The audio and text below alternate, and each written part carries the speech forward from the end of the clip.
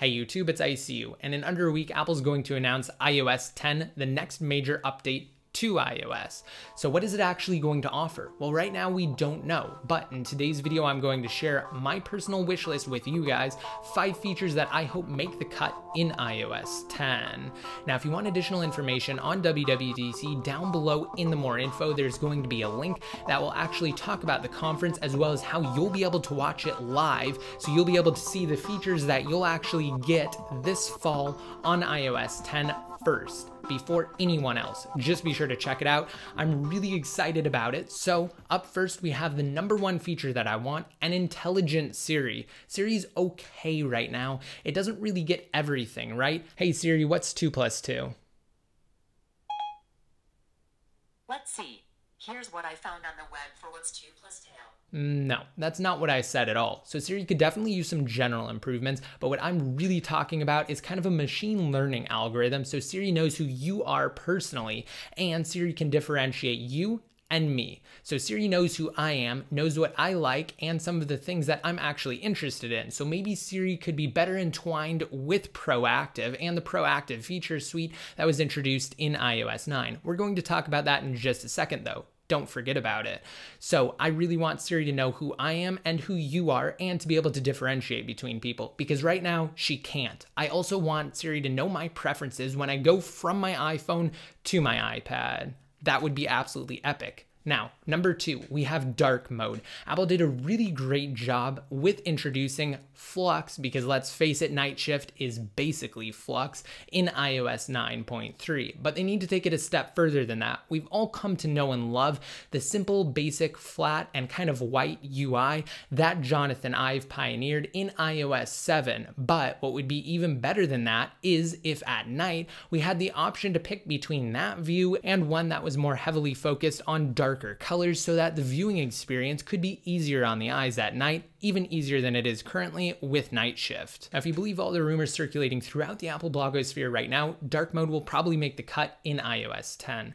Now, for number three, we have split view or split screen multitasking. Now, this one has been around and it's been on the iPads, but what I really want is it on the iPhones. Heck, even the Plus series iPhones like the 6 Plus and 6S Plus, and what will probably be the iPhone 7 Plus, could really benefit from split screen multitasking what do you think? Would you actually use it more if it were on an iPhone? I know I really don't even use it on my iPads right now. I just switch back and forth between open applications. But on an iPhone, I really think that that could be awesome and improve mobile productivity. Let me know your thoughts in the comments section.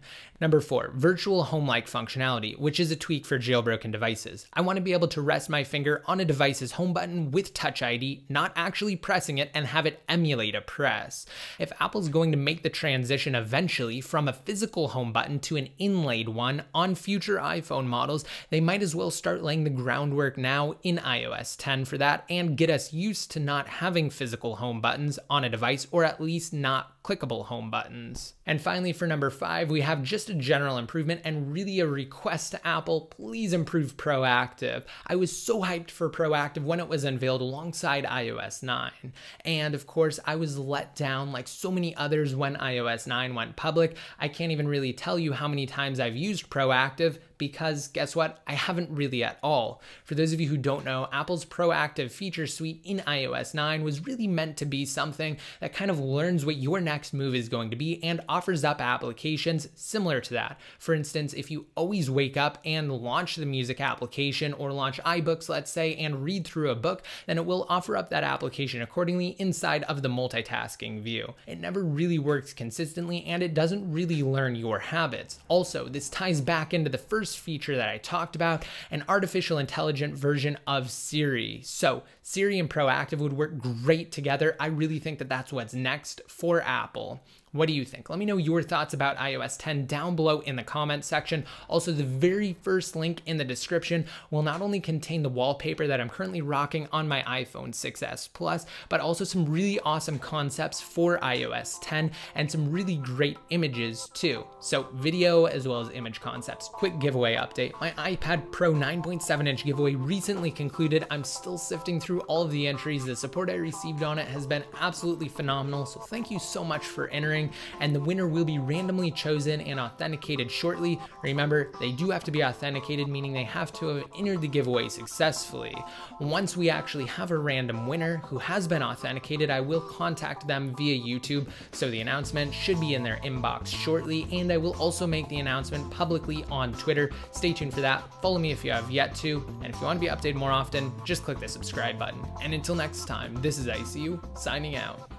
Join the iCrack Your community on Patreon to help out the channel and to be featured in videos similar to these top contributors. Click the link on your screens now if you're on desktop or check below.